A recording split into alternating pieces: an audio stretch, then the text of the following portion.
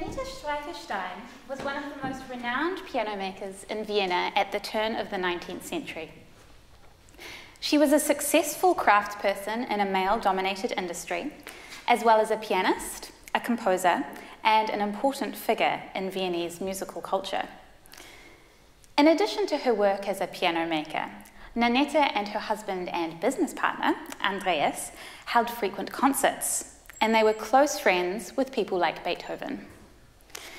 There is great research available on Nanetta's company and her instruments, but little has been written about how Nanetta's identity as a 19th century woman influenced the way she presented herself and how she was perceived by others as a piano maker. Despite being called a notorious lady, eine berüchtigte Dame, by one commentator, Nanetta wasn't, in fact, alone as a working woman in the piano making industry. It was, in fact, normal for a woman of her, uh, like her from a lower middle class artisan family to work in or even to own a small business.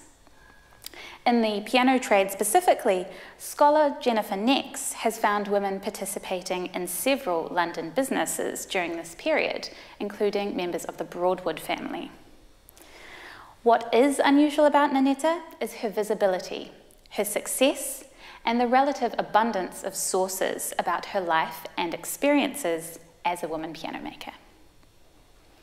I'm going to introduce Nanetta to you by talking about different aspects of her life and work in three parts.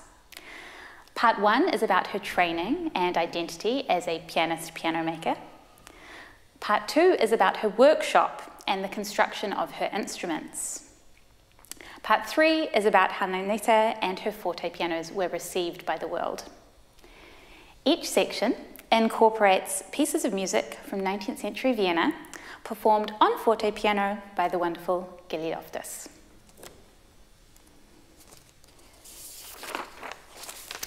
Nanetta was born Anna Maria Stein on the 2nd of January in 1769, 251 years ago.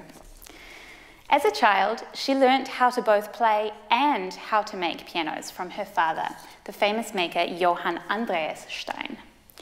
They lived in Augsburg, Germany, but Stein took the young Nanetta on tours around Europe as a prodigy, uh, where she performed on his newly invented instruments. According to Nanetta's obituary from 1833, Stein trained her to freely and easily point out the advantages of her father's latest work before the highest aristocracy.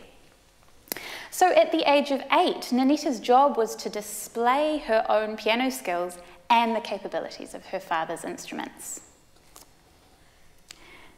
At 10, Stein began to teach her to make various parts of the mechanism and trained her to construct the keyboard, to tune, and eventually in the utter perfection of his pianos.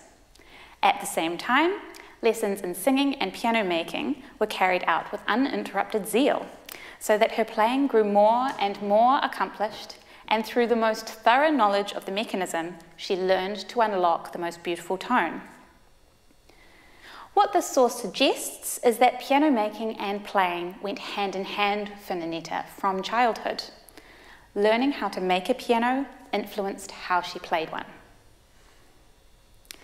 Stein died in 1792, leaving the 23 year old Nanetta to take over the family business. Over the next two years, she obtained an imperial license to make and sell instruments and moved to Vienna with her family and new husband, the pianist, composer, and teacher Andreas Streicher. Her younger brother, Matthäus, worked with her at the firm, but they parted ways in 1802. Her business was then officially named Nanetta Streicher nee Stein. She used a number of different names on her pianos. Um, and she was the sole owner and license holder until her death in 1833. Once Nanetta was trading under her own name, her skills as a pianist formed an important part of her identity and her public image as a woman piano maker. In a pamphlet about piano playing and maintenance from 1801, her husband Andreas writes Nanetta Stein instruments are made especially in regard to the keyboard and tone, by hands that are themselves highly trained in keyboard playing. And for that reason alone, are able to prepare for the musician all he needs in order to achieve good performance on the forte piano. Uh, this pamphlet here was given to Nanetta's customers along with their instruments, indicating that it had her approval.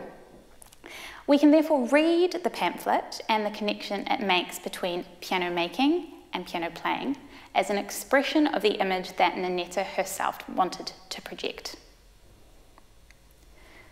Nanetta's level of pianistic skill was unusual for a piano maker. Emphasising her piano skills is therefore a canny point of difference for her business at this time. But I think it also serves a rhetorical purpose in Andreas's pamphlet. It justifies and reconciles Nanetta's gender with her masculine profession.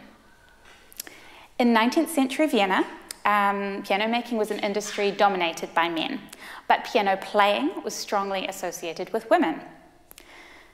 By describing her experience as a player, Andreas offers the reader a familiar image of an excellent woman pianist. This familiar image helps make the idea of a woman piano maker more legible to people who may not have come across one before. Yet another way we can see the intertwined nature of um, piano playing and piano making for Nanetta is in one of her compositions. She composed four pieces in her lifetime, including a pair of marches for solo piano that was also arranged for woodwind. Um, you see the title page here, published in 1817. In the space of just two short movements, Nanetta explores a surprising variety of articulations and effects.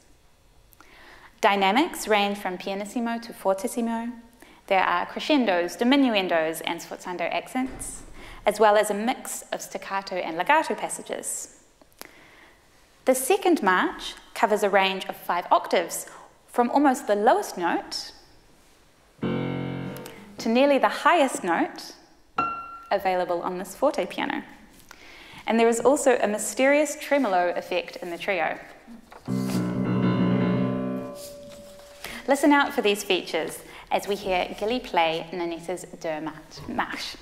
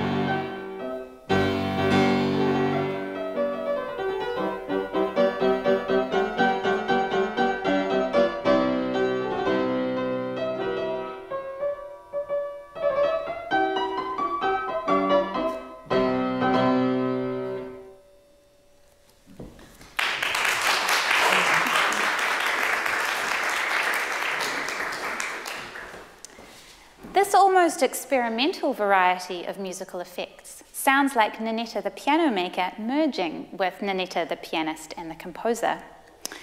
We hear her playing with sound and the capabilities of her instrument through her choice of dynamics, range, articulation of notes, and moments that call for the damper and moderator levers or pedals. More on this later. By composing and publishing these marches, Nanetta was displaying her own musicality to the world. But she may also have been exploring yet another method of showing off her instruments to their best advantage, a lesson she learned as a child when she demonstrated her father's instruments. Once Nanetta established her workshop in Vienna, what did she do there and how did she make her instruments? As the master craftsperson, Nanetta managed a team of about 17 journeymen who prepared uh, wood, built and decorated cases, made the mechanisms, among other tasks. According to scholar Michael Latcham, she likely looked after the final phases of the process, such as tuning and regulating the piano. In a profile of Nanetta by her business uh, contact Georg Griesinger from 1802, he writes that she herself alone undertakes the more delicate work in the forte pianos made under her supervision, which actually gives the instrument its soul and substance, its Geist und Gehalt. The phrase delicate work uh, makes Nanetta's task sound appropriately feminine, but it also highlights her skilled position at the top of the workshop system. What makes Nanetta's forte pianos, or Hammerflügel, as they were known in German, different from modern grand pianos, like the one lurking in the corner over there? Well, they're generally smaller, quieter, and have a different timbre, or sound quality. But they can also make a wider variety of sounds, and this was something her listeners really valued. The mechanism or action inside her forte pianos is also quite different to modern pianos. Uh, Gilly is disassembling the instrument now. Until about 1805, Nanetta used what is called the German Prell or flip action, invented by her father around 1769. Nanetta's action also had some differences to instruments by other piano makers of the time. Her competitor, Anton Walter, developed the Viennese Prell action, of which we have an example on stage today. So this is a copy of a five-octave Walter Forte piano from 1795, uh, 1795, made by Chris Maene. To understand how this action works, we're going to look inside it and compare it to drawings of Nanetta's instruments from that handy pamphlet by Andreas, which is both a user manual and a treatise on piano playing. Figure 6 at the bottom of this diagram illustrates the action using a sideways version of an individual key, uh, similar to the one Gilly is showing you now. At the far left, we have the ebony key plate.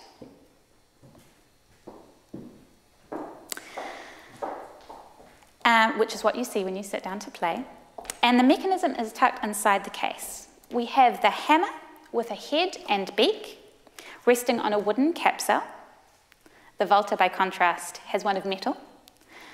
The hammer beak tucks under a vertical escapement hopper, and suspended above it all is the string. So Gilly is bringing a key around now for you to have a look at. And if you look at the screen, you can also see it up close, and you can see the process in motion.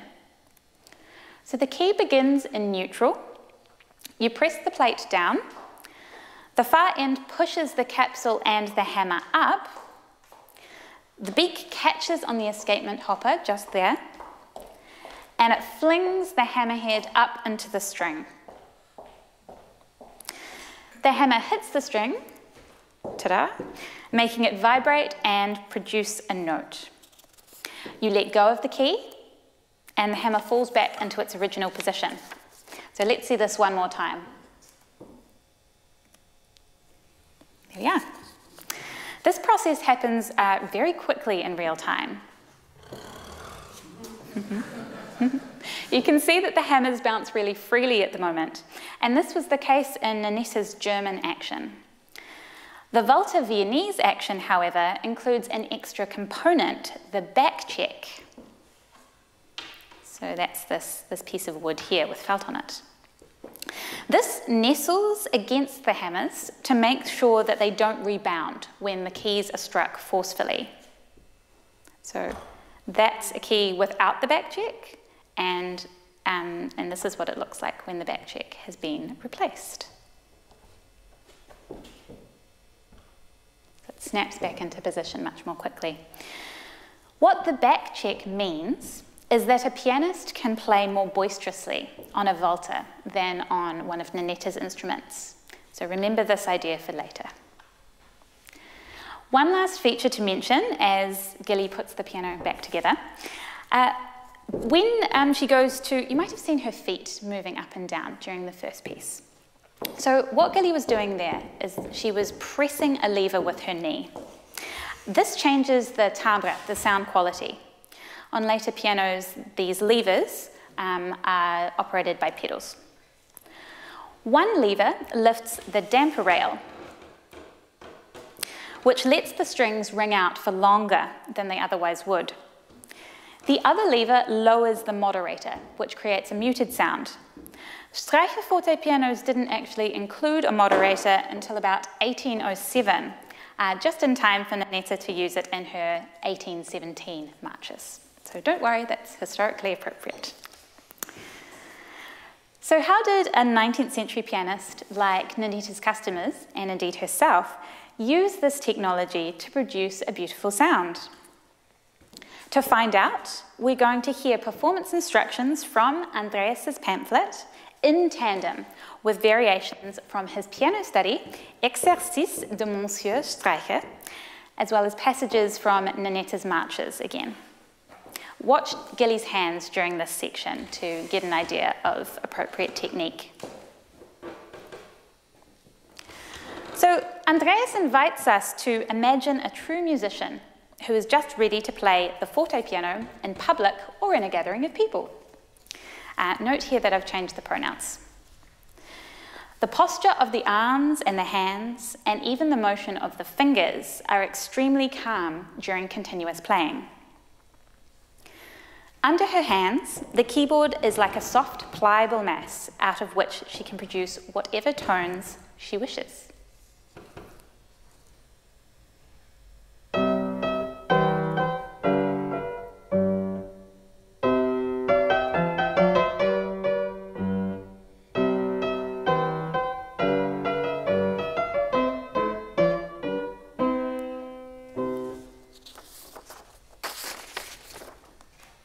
Let us listen to her slurred notes. How beautifully they are joined together, and yet how correctly they are all separated. No finger is raised before the next one takes its place. No finger lingers on the key when the next note has already been played.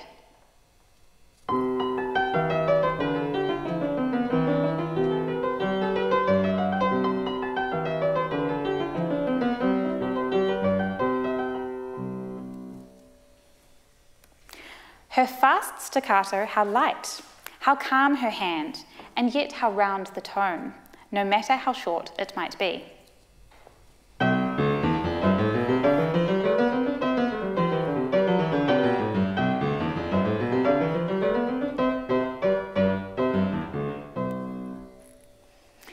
In Fortissimo, by raising the dampers, she tricks us into believing we are hearing an organ or the fullness of an entire orchestra.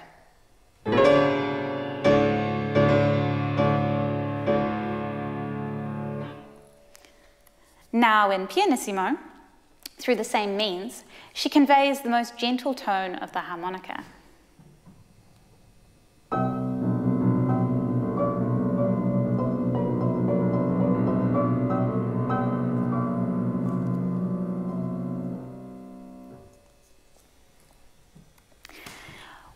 Hear these company-approved techniques alongside Andreas' exercises, we gain important information about how he, and likely Nanetta, believed Streicher pianos should be played. The pamphlet and exercises are both how to guides and aesthetic statements about how to draw an ideal sound out of Nanetta's forte pianos, according to her staunchest supporter in both life and work.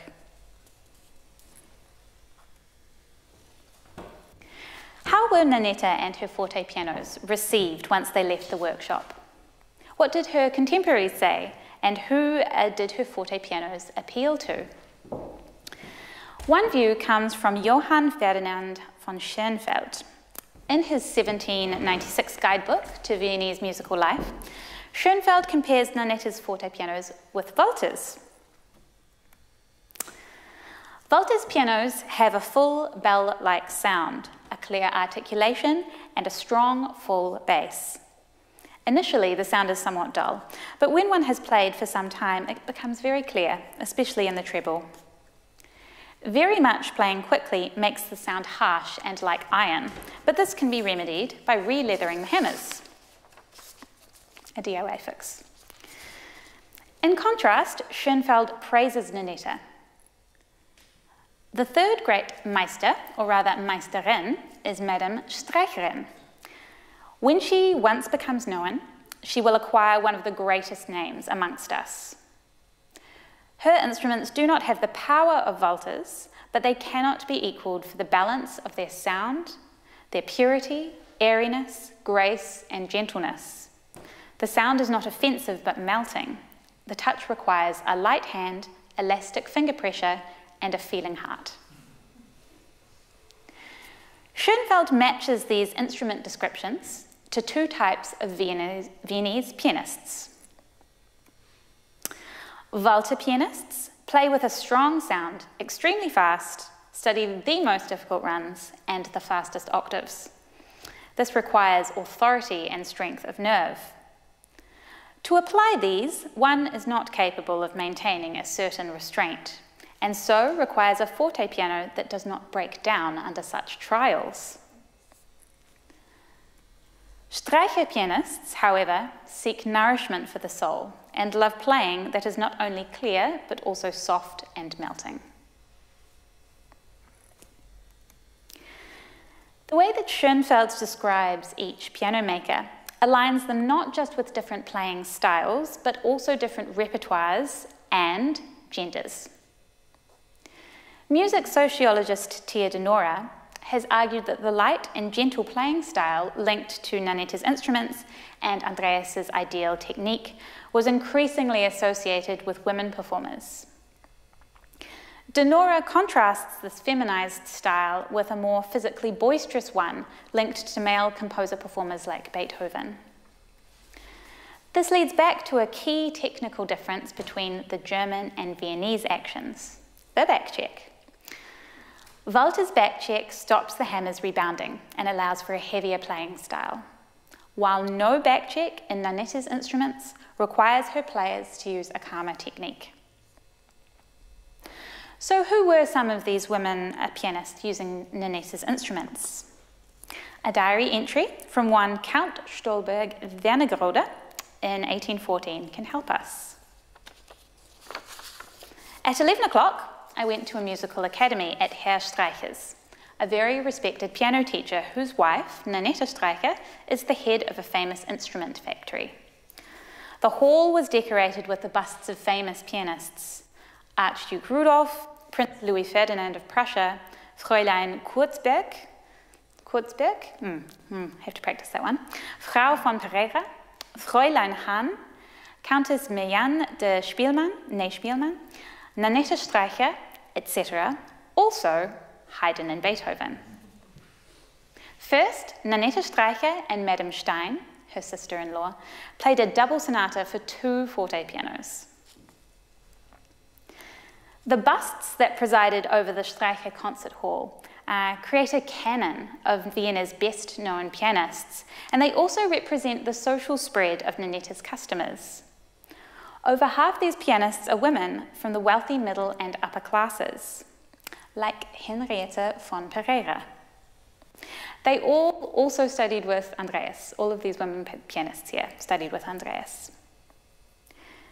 What I find significant about this scene is that Nanetta has included herself in the canon, so her bust is on the wall too.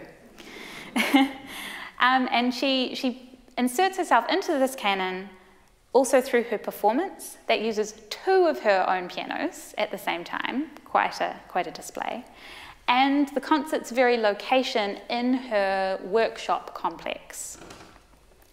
She is once again presenting herself, um, she's once again presenting a multifaceted self image as a pianist piano maker who excels at both art forms. So Beethoven and Haydn are also included in this pianist canon right at the end. Uh, but it's Haydn's works that align more closely with Schoenfeld's description of Streicher instruments and their ideal players at this time.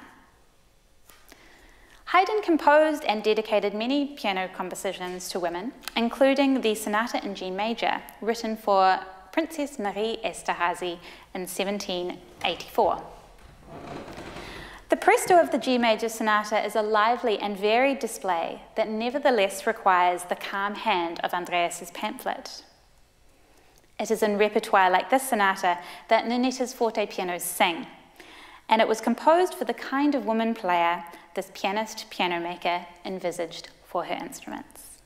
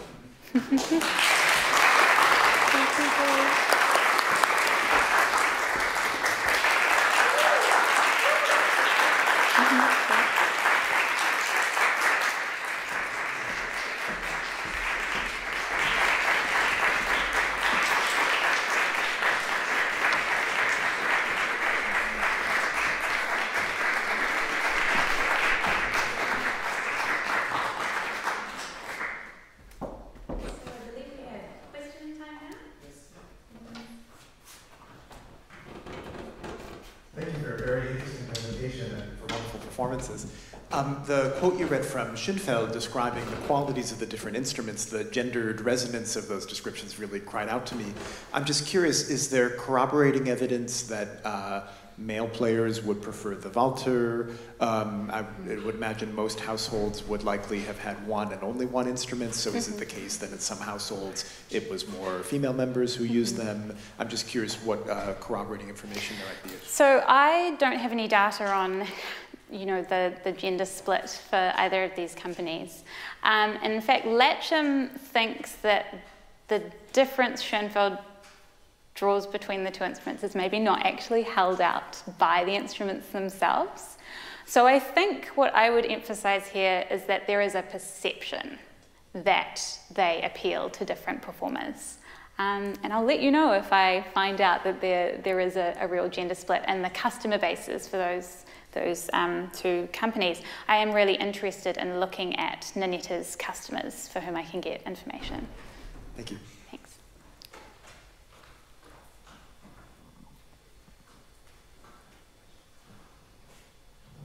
Thank you for the very interesting presentation, as was the previous one. Uh, I was just curious to know what was the civic address of the workshop or the arrondissement de quartier. Mm. Where was it located? It was in the Landstrasse district. Um, Landstrasse? Um, Landstrasse, so it's just outside the old city walls of Vienna. Um, and there were, I think, three or four addresses for the workshop during Nanetta's lifetime, but they were mostly on the Ungargasse.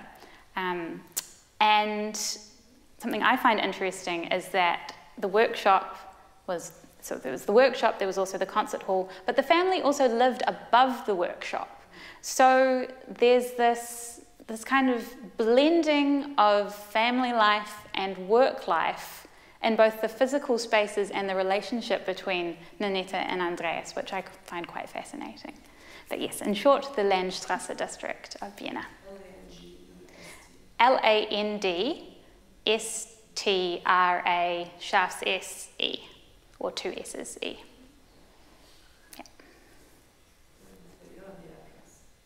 Um, I can if, I can take your email and, and send you send you a source if you like. Yeah, I, I do have them written down.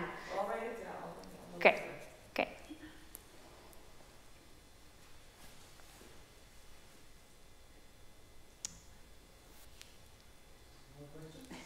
Oh, I see one at the back. I want to know more about these busts. About the busts? Yeah. It's actually fascinating. so, so um, Nanetta was really interested in phrenology, which is um, a pseudoscience, later became quite a problematically racist pseudoscience. But she was really interested in this practice of measuring skulls to find out about people's personalities and traits. She translated um, Franz Gall's book on phrenology into French from German. And these busts are, I think, some of them are actually busts that were created for phrenological purposes.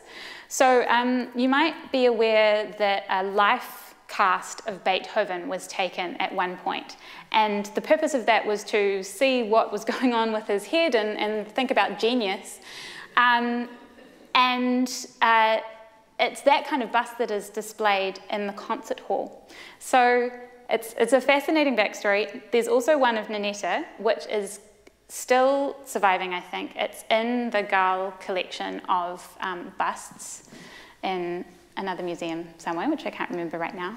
Um, yeah, but there's this really interesting relationship between Nanetta's work as a piano maker and this scientific interest, even if it's ultimately kind of bogus. So thank you for asking me about the busts. I was just wondering if there's also some sort of social relationship with busts, like do mm. people give each other busts? Oh, that I'm not sure about, um, but you know what, I'm going to look into it. That's an interesting idea.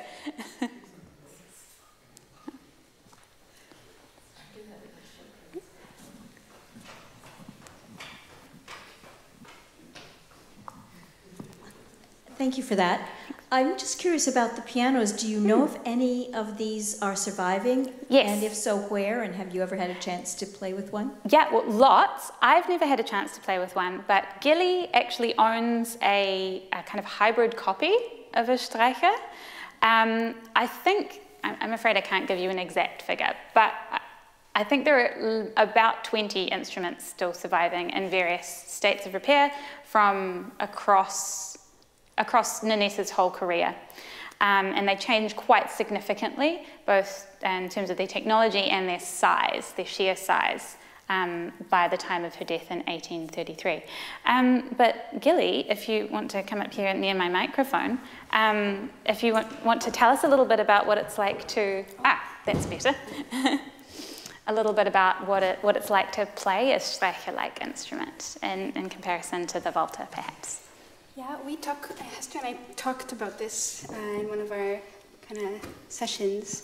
Um, it's going to be a, a, cliche kind of thing. Each piano is different, you know. Mm. So of course, uh, for each of these builders, there are certain, you know, elements of their craft that persisted over over their lifetime and, and their output. Um, but they were also so um, creative themselves and always innovating and always changing. So mm. instruments themselves within one oeuvre of one workshop can change quite dramatically, as Hester was saying. Mm-hmm. Um, and actually, they were making lots of different kinds of pianos at the same time. So this this mechanism, the um, Viennese action, Nanetta um, eventually takes on. So that that comes into her workshop, and then they develop what's called a down striking action. So the hammer falls down instead of falling out. But they continue to make the older style of pianos. So they're catering to quite a wide um, range of customers with different aesthetic preferences. And actually, um, I guess an important un unsung hero of, of that is the square piano, mm, mm -hmm. um, where it's somewhat misleading when we see a piano of this shape, and we're used to seeing either these or uprights. Mm. But to go back to the question from earlier, um, yeah, exactly. So, as their name suggests, square instrument, uh, domestic house pianos, mm. um, and for many of many firms, that was the main uh, bulk of their output. Uh, to make a grand like this was well, grand. Yeah, uh, yeah. You needed space and, and a need for it. Um, but the Streichers seem to have only made grands. Which so, is, I mean, yeah, it's very unusual. Mm-hmm. Yeah, and but also I think um, said something about Vienna because mm-hmm. grands were much more common in Vienna than say England, which is where squares were the, the order of the day. Mm-hmm. Yeah, thank you, Gilly.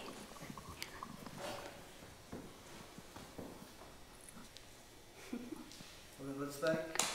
Thank you,